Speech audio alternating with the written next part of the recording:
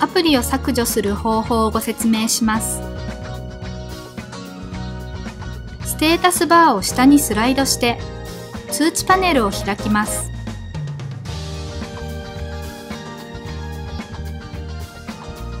画面右上の設定アイコン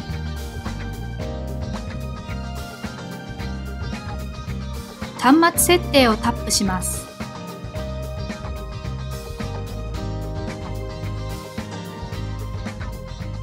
画面下部の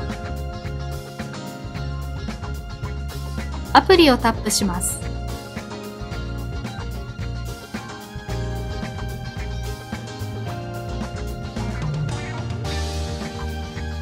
ダウンロード済みから削除するアプリを選択します。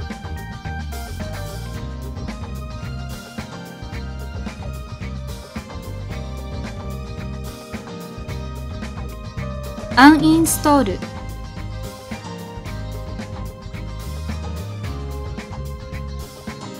オーケーをタップします。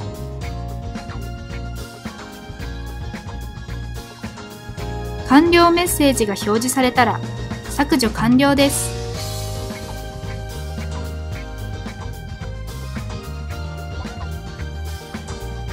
実行中のアプリを停止する方法をご説明します。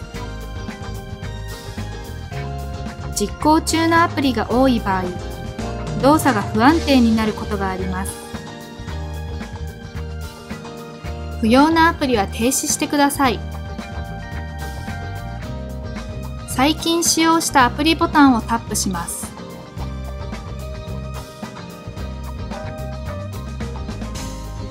最近使用したアプリが表示されるので、停止したいアプリを左右にスライドします。